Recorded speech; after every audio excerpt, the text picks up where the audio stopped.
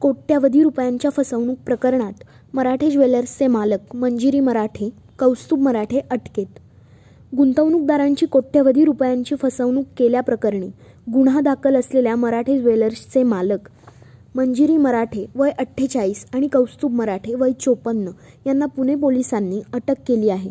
मराठे ज्वेलर्सच्या विविध योजनांमध्ये गुंतवलेल्या रोख रक्कम आणि सोन्या चांदीच्या दागिन्यांवर चांगला परतावा देण्याचे आमिष दाखवून गुंतवणूकदारांची कोट्यवधी रुपयांची फसवणूक करण्यात आली होती.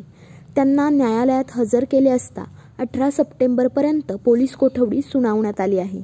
पोलिसांनी या प्रकरणी यापूर्वी प्रणव मिलिंद मराठे वय सव्वीस याला अटक केली असून सध्या तो न्यायालयीन कोठडीत आहे.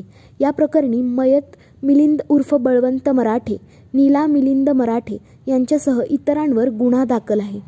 लक्ष्मी रस्ता आणि पौड रस्त्यावर मराठे ज्वेलर्सच्या शाखा आहेत. या शाखांमध्ये दोन हजार सतरा ते दोन हजार एकवीस या कालावधीमध्ये हा फसवणुकीचा प्रकार घडला होता. या प्रकरणी शुभांगी विष्णू कुटे वय एकोणसाठ यांनी कोथरूड पोलीस ठाण्यात फिर्याद दिली आहे. आरोपीने प्रणव ज्वेलर्सच्या विविध योजनांमध्ये गुंतवणूकदारांना रोख रक्कम आणि सोन्या चांदीच्या स्वरूपात गुंतवणूक करण्यास भाग पाडले.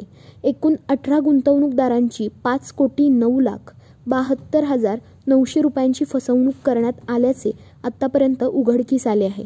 या प्रकरणात एकवीस मार्च दोन हजार एकोणीस रोजी गुन्हा दाखल करण्यात आला आहे.